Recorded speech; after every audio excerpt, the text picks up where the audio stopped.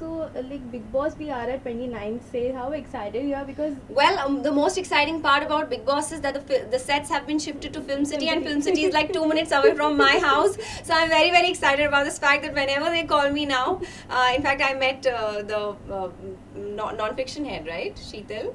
Yeah, I met her like in Westin uh, a week back, and I was telling her that I am very. She said you have to come. I said I am coming. Don't worry because now it is in Film City. so yeah, the most exciting part for me is that Bigg Boss set is in Film City now. I don't have to go to Lonavala anymore. wow. okay, so any tips you want to give to the fellow contestant because you are a hardcore contestant of Bigg Boss? I think you just be yourself, positive, negative. Just be the way you are, guys. Just be the way you. People are going to love you. No one is perfect. Just be yourself. And when you come out, work hard, prove yourself. No, nothing is like you know you you you just can't be the way you are in your TV serials or for that matter how people portray you. You can't be a goddess or you know you you can't you you are imperfect and that is why you are what you are and that is why people love you. So just be the way you are.